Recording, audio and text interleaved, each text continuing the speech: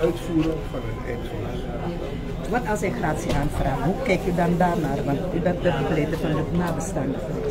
Nou, het gratieverhaal is een beetje wazig verhaal, omdat onze wet op dat stuk onduidelijk is. Er wordt gesuggereerd dat het aanvragen van gratie een opschortende werking zal hebben. Nou, het zal hem niet lang helpen, want er is geen twijfel over dat als er een gratieverzoek gedaan gaat worden, dat daar eh, met grote spoed op beslist gaat worden. En het is niet te verwachten dat dit Hof een positief advies over gratie gaat geven. Dus ja, mijn verwachting is dat een verzoek tot gratie niet gaat helpen om de opgelegde gevangenisstraf te ontlopen.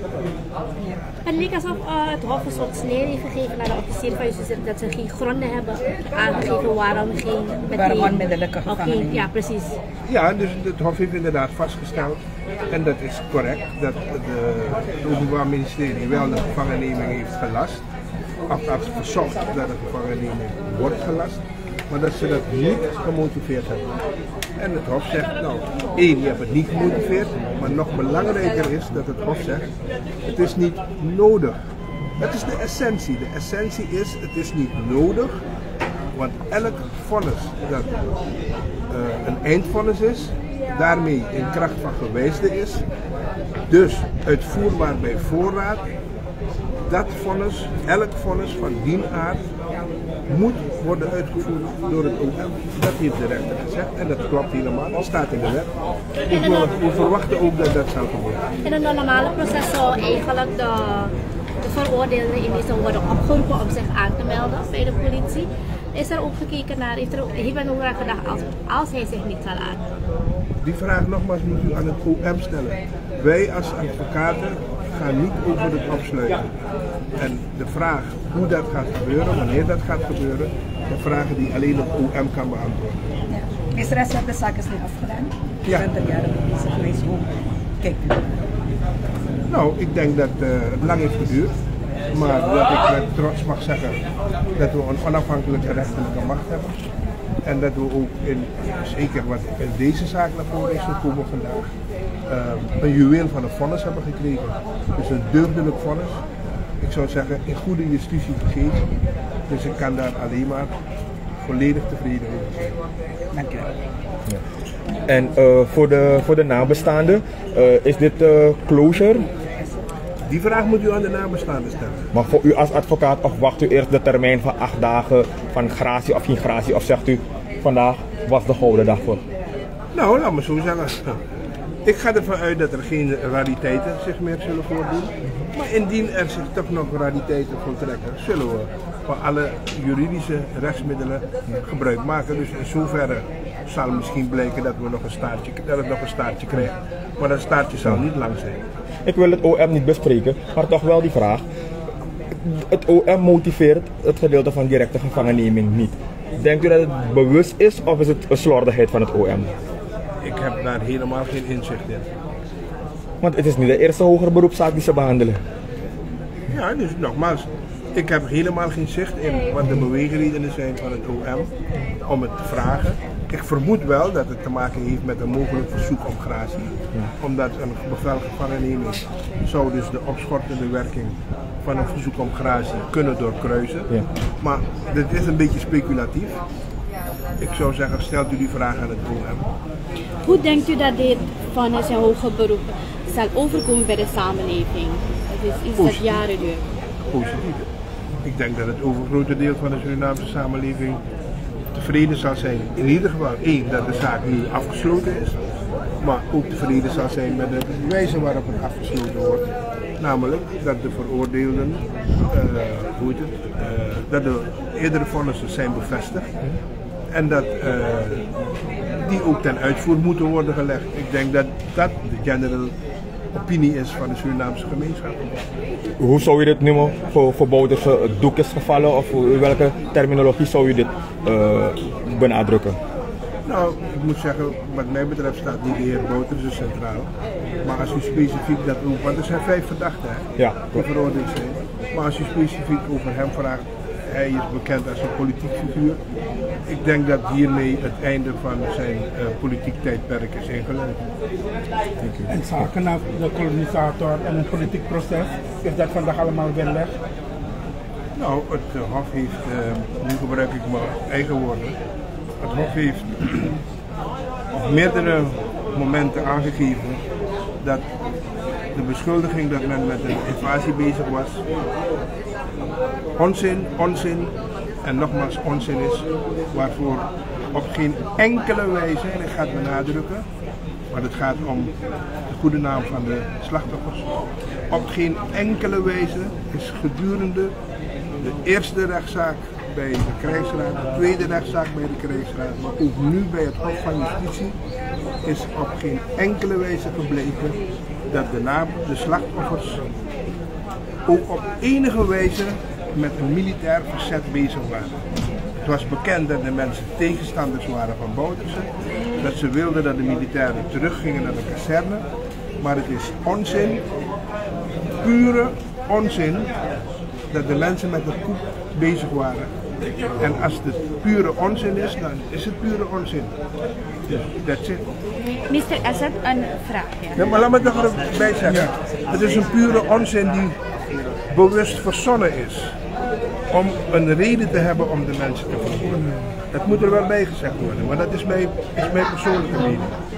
En zaken als change of regime? Onzin. Ja? Me- niet meer dan onzin. Dus ja, ik bedoel, het is toch moeilijk om op onzin zinnig te reageren. Als er, als er iets niet vaststaat, nergens geen enkel bewijs, alleen de verklaring van een oplichter van Haperen. Een man die veroordeeld is, wegens oplichting. Die komt verklaren dat de nabestaanden hem betaald hebben. Of tenminste de slachtoffers. Maar hij heeft toegegeven dat hij de, de slachtoffers nooit heeft gesproken. Heeft ze nooit gesproken, nooit gezien. Maar hij heeft geld van ze ontvangen en namens hun gehandeld. Hou op met die onzin, alsjeblieft. Mr. Assad, um, wanneer we praten over een vonnis, nu in hogere beroep, is er een bepaalde tijd dat um, uiteindelijk gaat hij de gevangenis in moeten gaan. Is er een bepaalde tijd eraan verbonden? Nou, als, het, als het goed is, is het Openbaar Ministerie nu op weg naar de heer Bouters. De, de rechter heeft gezegd dat het vonnis moet worden uitgevoerd. Dus ik verwacht niet anders dan dat het vonnis zal worden uitgevoerd.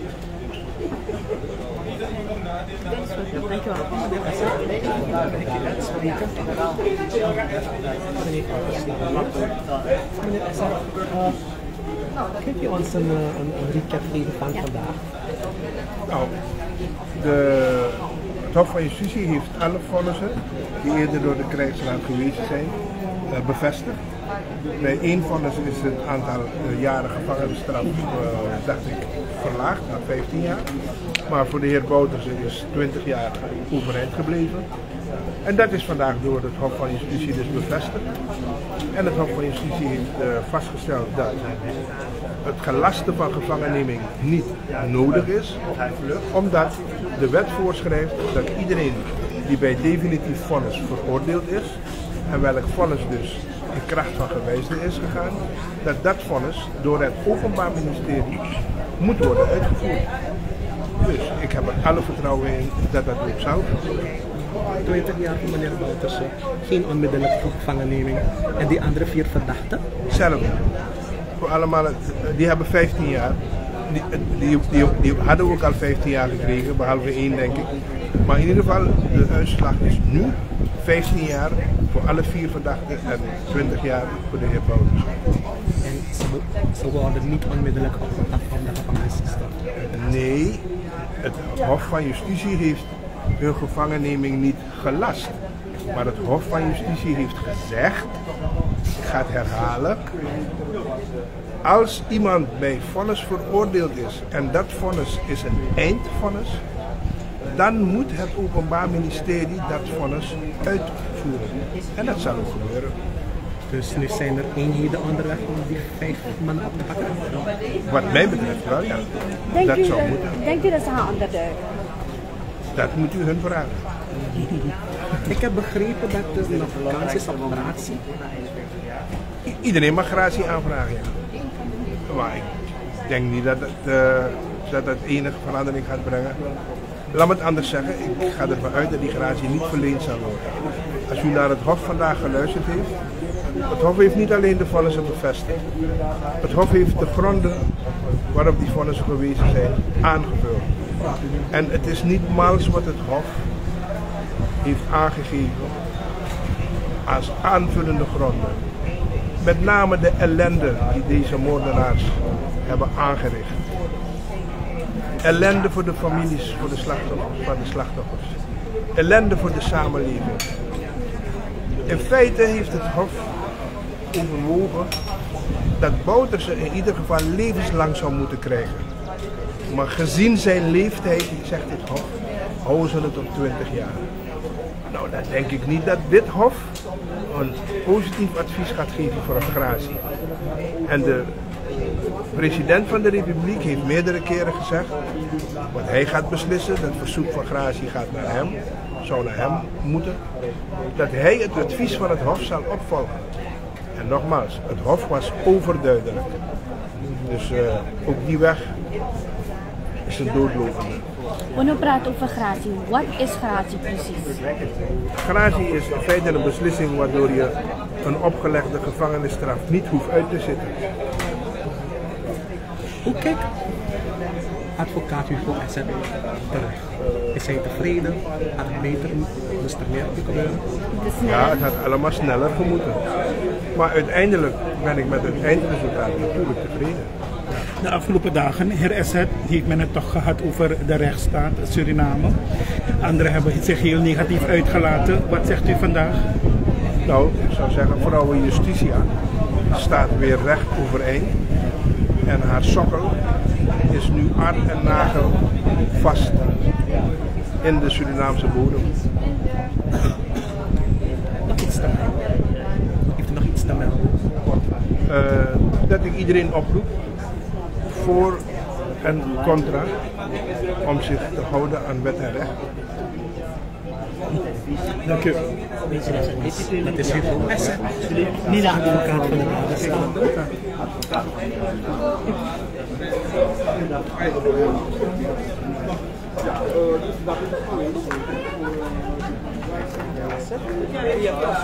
Ja.